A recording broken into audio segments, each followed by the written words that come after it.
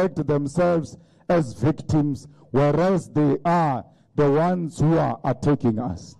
Comrades, it is here at this university where those who are in the management collaborated with the racist and right-wing formations such as AfriForum to reverse your democratic victory in SRC election last year. Yet they portray the EFF as an undemocratic organization, but themselves will never accept a democratic will of the students. They framed you and wanted to create an impression that you are racist when they were racist themselves.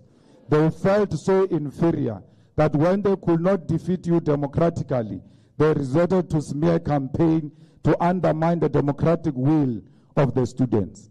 Fellow fighters, after all of this attempt to deny you the rightful victory you attained last year, you were not discouraged and you worked harder for students and you once again emerged victorious and no one could deny you your victory. He left, he left. Yes, sir.